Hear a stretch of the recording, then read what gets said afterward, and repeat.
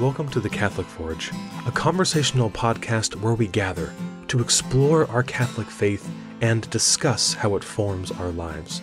All are welcome to join in this conversation and journey. Thank you for listening. Hey everyone, welcome to the show. This is Eric in West Virginia. This is Ben in Kentucky. This is John in Illinois, the first state to ratify the 13th Amendment.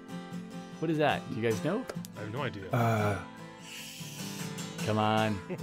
13. First viewer that texted in will get it will get a prize. what is the 13th Amendment? The 13th Amendment was abolishing slavery. Uh, yeah. According to Library of Congress, the 13th Amendment the Constitution. Your viewer voted in too late.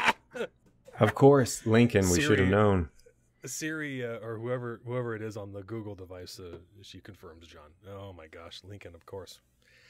Well, always an adventure with the Catholic Forge as we get started here. On this episode, gentlemen, welcome to Lent. Here we are, um, having gone through at least an Advent together as a little podcast community, and here we are in Lent. And golly, just so much to talk about so much to consider for these 40 days of fasting and prayer, contemplation before Easter, uh, but kind of aiming in the direction of Lent as a family and Lent as a gentleman or a Catholic gentleman. And so I'd like to begin with the most obvious question, and that's the question that everyone always asks What are you giving up for Lent? Now, I know that not everyone is comfortable answering this question and probably for good reason. What do you think? About why people are uncomfortable? Why they would not want to answer this question? Because they're not really giving anything up and they don't want anybody to know about it. That's the reason I don't want to talk about it. Fair enough. Okay. Okay. Uh, you know, I think there's always the the feeling of worrying about if you, you don't want to show off, you don't want to talk about it, you know, in a way that makes people makes it look like you're you're trying to seem to be holy or or highlight I, yourself. I think I think that's a big part of it. That idea of not wanting to come off as though look how holy I am. Or but I think for me though, there's a very personal thing about it. It's um it's a very intimate activity that I'm doing with God and I just I don't talk about kissing my wife, eh, but I do that. But I, I don't talk Sure. about it, you know. And so it- it's just the kind of there's a it's a special, unique thing with me and God. And so so there's some sensitivity there. And also when you read in Scripture too, you know, Jesus says says you know when you do your, get your giving, you know, do it so the right hand doesn't know what the left hand is doing. And Right, yeah. when you're fasting, don't let your hair get all messy. Wash your face, you know, like the hypocrites do, so no one will know that you're fasting. So we, we get some of that message from Scripture that we're not to be out there like, look at me, look what I'm doing. I think that that's a pretty sound thing. Absolutely. It's it's amazing this kind of cultural life that Lent, especially Ash Wednesday, has taken on. And certainly, I don't know about either of you when you went to Mass, if you did, on Ash Wednesday. But uh, here at, at my parish, um, we were packed and we, we had a service, not a Mass, at the local Newman Center and uh, ecumenical. And man, it was full. Uh, it's just amazing that people come out of the woodwork for this particular solemnity, even though, at least for what it's worth for Catholics, it's not a day of holy obligation. Uh, you know, you don't have to be there. Uh, and even people who are not Catholic will come to receive uh, receive ashes on their forehead. And to hear those words again repent and believe the gospel or remember that you are dust and to dust you shall return. It's just I, I, i'm always amazed. I don't know why i keep being amazed. I've seen it so many times. It's just always amazing. And then we hear people who maybe have no real relation or association to the church talking about what they're giving up for lent uh, uh, which i think is also just it's just wild Yeah, it, it is really wild because they, you know, you've got people that will skip Sunday Mass, which is a day of celebration, but make it a point to come and be told that you're a sinner and that you need to repent. Yeah. Why would you want to show up for that? It's it's a beautiful thing though that it's it's something that's part of our our cultural tradition as Catholics and Christians that we we have this desire that we know that that's there. And I'm I'm very pleased to see that because I often feel like we live in a world that very much is trying to expunge a Christian culture. And so when we see those people it's just a beautiful thing that we, that there is that culture still within them and that that yearning. So I I find that very exciting. It is it is amazing to me too though that so many people do come for it. Yeah um, uh, just a, kind of a quick question. We don't need to get into the deep structure of it, but when you went to Ash Wednesday, did they impose ashes on kids? Yeah. Yes. Definitely. Definitely Really? for me. We we went to the the morning service and it was predominantly the school kids that were there Sure. that had Oh, walked sure. walked over from the school. So yeah, most definitely all the kids. yeah my baby got them. well she's not a baby she's two but you know Interesting. Interesting. What, what, what do you got for us on that, Eric? You sound. Uh, well, no. Uh, uh, um, at none of the masses or services I went to um, were were children uh, ashed. and and uh, after the the Newman Center, after that ecumenical service, I was talking with um, with with a, priest about it, and and Father and I were discussing, you know, why is it that you would, and why wouldn't you, and and so certainly, I mean, this is this is kind of churchy, but uh, obviously, you know that the ashes are a reminder of sin. But if you are a little baby, then in the Mm. church's eyes, even though we as parents know you are definitely sinful, yeah, my, my two-year-old definitely he knows what she's doing. but in the in the church's eyes, you know, they're still in that age of innocence, and so um, and so, I mean, you, you of course, we, we, with with a little humor, you know. but, Well, uh, yeah, you know, I, I think you could add something to that dialogue too. Though it's true, my two-year-old is probably not culpable for any bad things that she's done, um, and she'd delight in that. But um, but it, she still is part of a fallen human race, affected and afflicted by Mhm. sin, and so into that, she she still is under that as part of the fallen human race. We're subject to death, you know, of and course, so of course. so so Right. so there still is a and and my kids they love it. You know, my my son, my my oldest, he's a second grader, so he's in first communion classes right now, and he cannot wait to go to um, Mhm. communion. Yeah. But this was really cool because it was just a little. He, he's going to be going to communion in in, um, in the end of April. And it was really cool for him to be able to go up and actually participate. And then, of course, for Yeah. my daughter and for the other kids to go up, they were Yeah. so proud of their ashes that they were able to participate. And and I think that's one of the reasons we see those people coming back, even though they may not go to mass on Sunday, coming back on Ash Wednesday because there's that that's something very unique. I remember this as a child going up and getting those ashes. Yeah. Mhm. Incidentally, Evie refused to get ashes. I think she was the only kid in the church that did not. She did She not want like to do it. No, I don't know. Okay, fair enough. Uh, she's shy in a lot of ways. I think that might have just been it of, you know, the it being different out of the routine and everything. But the priest joked with her that she was not being an ambassador of Christ. She just smirked Oh smirked. no! She smirked and hid behind me. Oh, that's funny. Uh, yeah, uh, neither of our kids did. I mean, and no big deal. I'm, I'm not certainly trying to try, trying to play devil's advocate or anything. I was just curious. I know that um, in different diocese, you know, there are policies that the, the bishop has said you may or you may not, or it's left up to the priest, and then you know he may decide yes or no. Just kind of curious because we're all kind of spread out. Second question. Oh, Ben, please. Yeah, real Yes. quick. So what you were talking about there is kind of like the age of reason thing. Like if you're below the age of seven, what do you really need to to repent for if you're not even fully cognizant of your Right. your sin? Is okay. Right. I just wanted to Yeah. make sure I'm with you. Yes. Okay. The second question I'm not going to ask you what you're fasting because that is between you and God. And like John said, it, it is your own personal gift to God that no one else ever has to know about. And that's that's devotion, the, the interior gift. But I'm curious is there anything that you thought of approaching Lent and you totally knew that you could have given it up, but definitely did not because you didn't want to? Oh yeah. You know, my son, um, Michael, he said that on, on Ash Wednesday, he woke up and he said, For Ash Day, I'm giving up pants.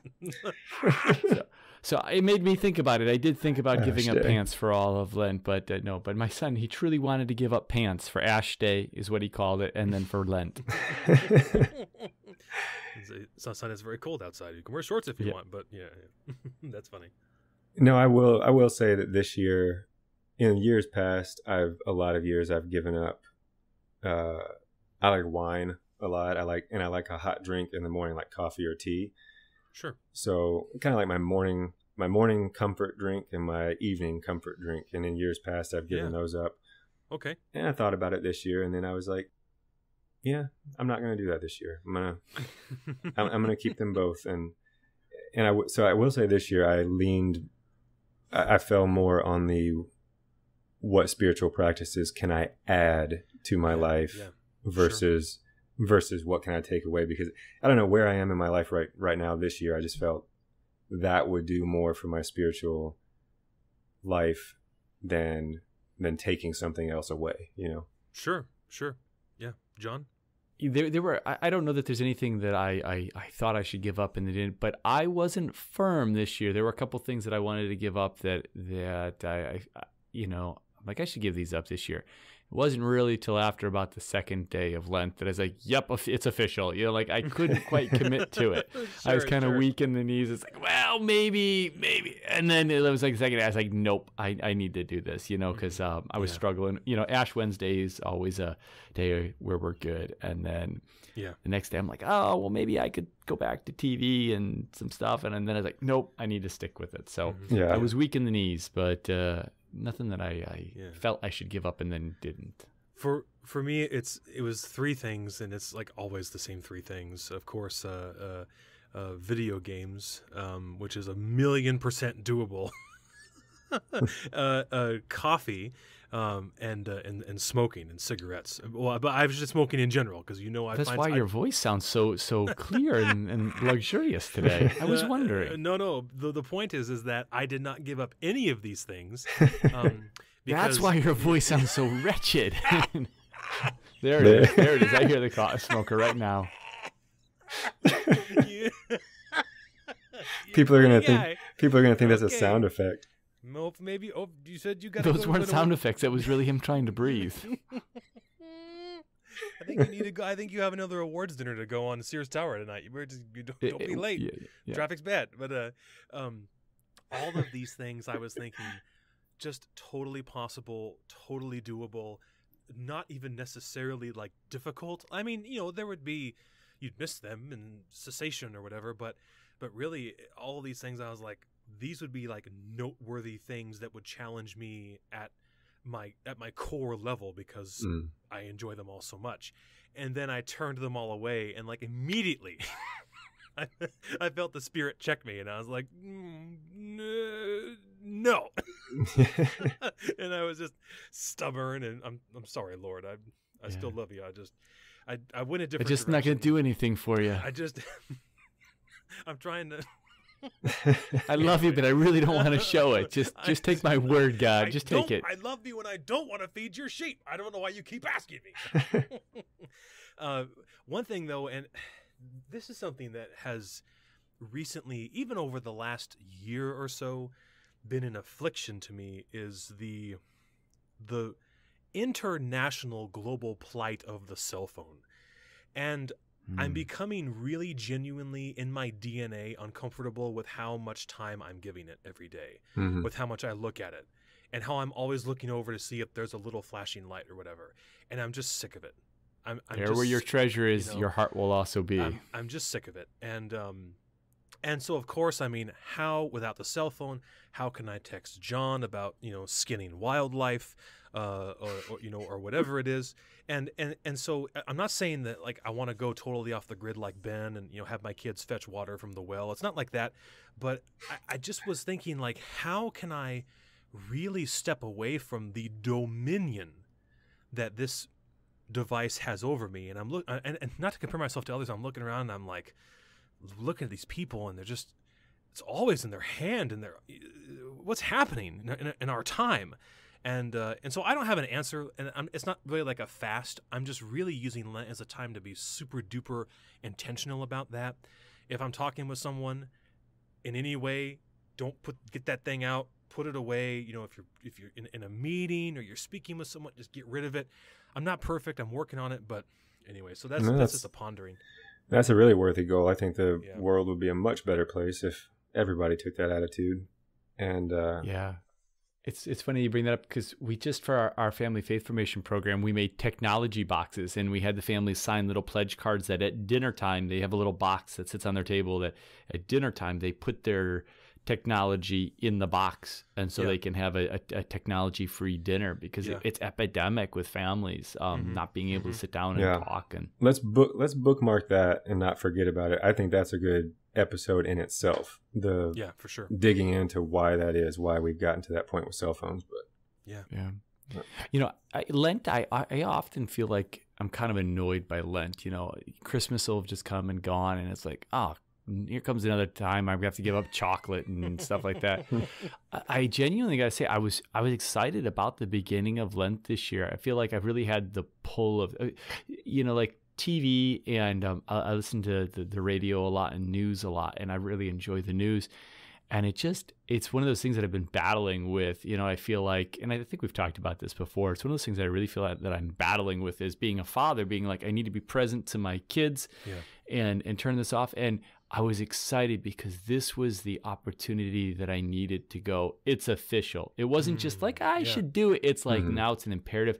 So I was really kind of excited about Lent this year, and of course that's really what Lent is about, uh, you know, and that's really our goal, you know, is to use it to to to die to self, you know, Yeah. to have that opportunity. I, I love the ta adding on things, um, Yeah. as long as you don't avoid the giving up things. It's Right. so Right. Right. it's so important, especially as men. We're talking about this, especially from a Catholic man's point of view. Fasting is probably the mo- one of the besides mass and confession. They are probably one of the most powerful things that you can do as a man to stay faithful. In fact, it almost fasting almost made my top ten spiritual resource list Mm. Because in fasting, even if it's chocolate or TV or cigarettes or video games or any of the things that Eric didn't give up that he should have, um, anytime that we give say no, even to those small things, we're training ourselves to be able. When I see that beautiful woman, I already learned how to say no to myself. Hmm. When when when when when, uh, when I want to be impatient with my kids, so it's just so important, especially in chastity, for men to practice fasting, because it, it empowers you to say no to self, and that's just Yeah. so important. And because I mean, as, as a man, you know, I I'm always attracted to women, and so it's it's it, it, it, it is. Uh, my name is John, and I'm an addict. Um, you, you know, and. Uh, man, Eric, what a weirdo. yeah. you know, so I, I find it so such a wonderful practice fasting. In fact, um, I, I, I when I was in high school, um, we we were very much as I, as I said before into the the messages from Mary and Mary very often the Blessed Mother um often called for fasting, and so we would often fast on Wednesdays and Fridays when I was in high school, and I made it through high school as a virgin because of that fasting. Not because it made me weird, but because it gave me the ability to say no to myself. Yeah. You know, and so And if you if you had seen that long hair he had during high school, it was hard to keep the women away. I, I was. we're talking about a sheer gravimetric magnetism. Okay, powerful, powerful. So, uh, you know, praise God for that, John. this, yeah. yeah. So it's just such a such a powerful a powerful tool for men who maybe struggle a little more with chastity and maybe uh, selfishness or the things we struggle with. Yeah. Fasting is is just like testosterone or steroids for the soul. Yeah. Mhm. I'm I'm always interested too, fasting, how it brings out the uniqueness of people, because, you know, something that I could give up easily could be pure hell for someone else to give up, and vice Yeah. versa. You know, Oh, sure. and and honestly, and not to not to toot my own horn here, but why I took a little bit of a different approach this year. I've still got a few things I'm giving up, but I found that I'm pretty good. I guess I'm pretty disciplined at giving things up and, and like reprogramming myself. Hmm. And, and in past years, you know, even as much as I, I mean, I love wine, I love coffee, but I get past that first week, and it's almost like it's easy. It's like, okay, I'm in, Hmm. I'm in the new routine now. This isn't a big deal and it's so I just I don't feel the pull anymore. I don't feel the sacrifice anymore, and that's why this year I was like, you know, maybe it would maybe it would hit me harder adding, and I'm finding that it totally does. It, it's much harder for me to make that extra time to add something in. Um, but with that being said, I had to give up a few things to create that extra time. So it's kind of a balance, sure. you know, of the sure, of sure. the fasting and the the adding. But and so added into all of this is is the family dynamic. Uh, and so we heard a bit about you know wanting to give up pants and John having to uh, to guide the young mind. Uh, what other kind of family devotions besides the obligatory fish fry on Fridays? Uh, what other kind of devotions or activities uh, uh, can exist here? You know, for in Lent for families. Or ben, you were telling us about a really awesome one that you guys do. Yeah, we started. I guess this is only really our second, second or third year doing it. Alice got the idea, I think, from a, a Catholic blogger that she follows, of just lighting a single candle. Kind of the idea like the Advent wreath during Advent, only this is just a a Lenten wreath. It's a single candle, and then it's a really bare, uh, sparse kind of like almost like the crown of thorns minus the thorns. It's like a twisted kind of wooden looking wreath just sitting sure. sitting around that cam- candle. Hmm. So we light that every night at the beginning of dinner and uh, and recite the Anima Christi. That just as a kind of a special, and you know that's the prayer that we picked. You pick any prayer, just as a way of kind of sharing with the kids and ourselves, reminding that this is Lent. This is a special time, uh, and you know adding that extra devotion to it. Yeah, sure. We we observe a little more somberness in the house. Um, you know, so like all electronics are off. We don't watch TV. Um, you know, we don't really do much of the video game thing. Um, but you know, we we kind of we tone those things down, and then we really focus on like at dinner time making precise like we sit down. Often I'll, be we'll be saying grace, and I'll be getting the last you know chicken nuggets on the plate, and the kids are sitting down, and, and, and we're like, nope, everyone's gonna wait until we are all seated. You know, so just being more conscious hmm. um, about what we're doing there, and then and then the candy. The kids are always like, "Can I have a piece of candy?" or "Can I have this?" And then so there's just a reminder. Nope, it's it's Lent. We're waiting. And in the first day, they're like, ah, and after a while, like even Michael, the four year old, will be like, he'll say, "Can I have a piece of candy?" I'll say, well, we're not having candy now. And he says, it's Lent. You know, so he, has got it's Lent. It's, it's Lent. You know, and he'll even sometimes come up and ask now, Daddy, so can I have a piece of candy? And I go, no, I probably shouldn't. It's Lent. So, oh, so sweet. you know, Good those you. little kind of things um, are, are really uh, enduring. So, hmm.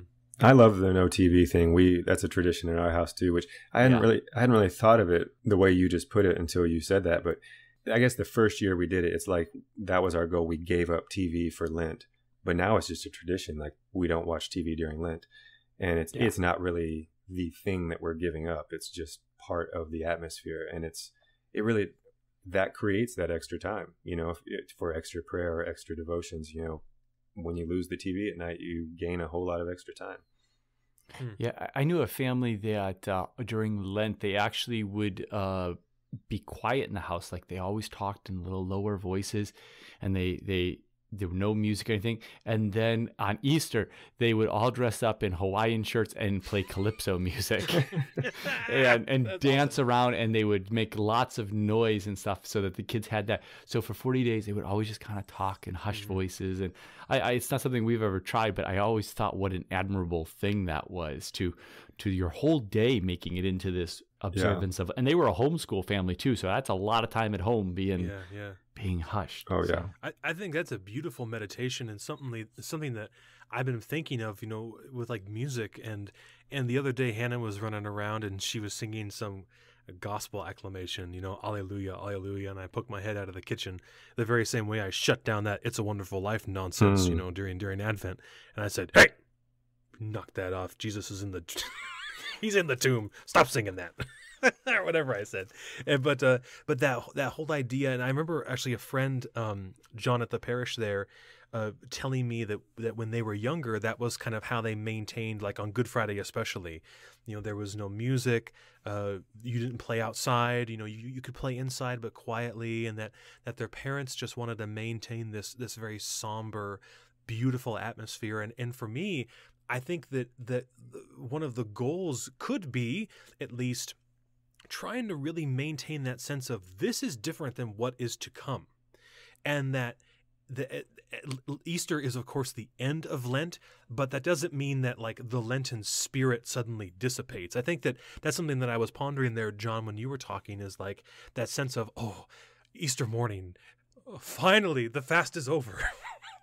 Yeah. and and Ben crawls out of bed toward the the jar of Ghirardelli chocolate chips on the ta- the table. I, I've- remember when we were, I have never we given were- them up. Oh, my man, come on. He's waiting till he's severely addicted to give them up. He wants it to be a struggle. Yeah. it's a n- it's a narrow gate. Uh, You know, but, it's uh, important that you form a new addiction each year so that you have you've got something to work on during Lent. um, we, when we were in college, a, a bunch of uh, the fellas and I, we gave up smoking, and you can bet at the strike of midnight we were outside. we were outside and we were playing Easter music and smoking. Oh my gosh! But but that sense that that not only uh, I mean so, yeah, it's very worldly, but but that that the spirit of Lent goes on, discipline, pondering, meditation in the light of Easter morning, in the light of the resurrection. How wonderful! Uh, and and uh, certainly, uh, I, I, don't, I don't mind. I mean, I'm going to speak for Ben a little bit, but uh, I appreciated just speaking of things that were like adding in. I appreciated John uh, sending us a little book. Uh, I'm Yeah. not going to send you anything back, but I appreciate that. Thank you. So it was very nice. Yeah. I don't know if you saw my email, but I, I, yes, uh, thank you. Yeah. Yeah, that's awesome. I guess for people listening, we should mention that it's a like a Lenten devotional. Uh, what's the title of it? I don't have it nearby. I forgot. Becoming a man after God's own heart. Yeah. Is that right? Something Yeah. like that, John. I think it was. That, no, that's it. It's got some really great stuff in it. Yeah, it's beautiful. And oh, I'm not gonna say it. I just don't want to get into it because we actually could actually finish the episode under 30 minutes. So let's not jinx it. Yeah. and open. Well, and, I and- actually and thought of open this another. really long scripture passage that we should read about Lent because it's important that we understand. Let us let us yeah let, let us recite Psalm 119 antiphonally. No, no. Let me throw Uh, in a uh, quick comment though before we, before you wrap it up. Yep. because we've talked about not sharing what you gave up for Lent, I, we don't want to leave anybody feeling bad who has shared with somebody what they gave up for Lent because it's obviously very open to you know, know yourself, know your motivations. If you're moaning around the water cooler at work about how hard it's been on you, that you go, that's the wrong type of sharing. If you're talking to a close friend, especially for accountability, like maybe what you gave up, it's really hard for you to stick to it, and you need some accountability and some extra support. And you know, by all means, share with people. I mean, know the situation. You know, that's that's basically what I wanted to throw in. Is that don't feel like you're a horrible, horrible person automatically if you've like, oh no, I've already told somebody what I gave up for Lent. Mhm, absolutely. And and your sharing could encourage them. You know, it's not absolutely, Yeah, I- yeah, I- for and often, often what you're doing, eh, often what you're doing will inspire somebody else or, or, or give them courage. You know, I, you know Eric. I know Eric, but I won't mention his name. Uh, you know, for for years, often gave up all meat for all of Lent, and you know, when we did the uh, Seder meal, it was a big thing. We we were doing this amazing meal, and he he wouldn't participate in the meat. Eh, Uh, and what an amazing Mm. fast that was for a man that eats nothing but bacon. So um, it, eh, eh, it really was very inspirational to see that. And so, so yeah, in sharing those things, I'm often inspired. I mean, we had a teen one year was addicted to ketchup, ate ketchup on her cereal. I kid you not. Oh, man. And Oh my god. she gave up ketchup for Lent. And then the next year, she, she gave up the second thing she was most addicted to, which was ranch dressing.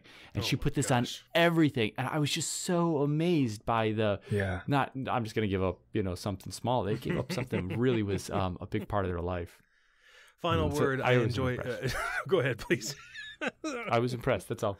Oh, I enjoy bacon and eggs. Thank you. And this has been the Catholic Forge. We we let let us just say we made it under thirty minutes for the uh, show proper, and now Yeah. we get into the Fair enough. the the end. You got 15 seconds. Get rolling, boy. God bless you. Good night. 10. Yes, a very happy Lent to all of you. We thank you for listening, and we'd like to close, as always, with a prayer and a blessing. May God the Father. God the Son. And God the Holy Spirit bless you, guard you, and lead you to eternal life. In the name of the Father, the Son, and the Holy Spirit. Amen. Amen. Thank you for listening to the Catholic Forge. We hope you've enjoyed this episode and will leave us a positive rating and review on iTunes, SoundCloud, or YouTube. Subscribe and share with those who you think would enjoy our podcast, please.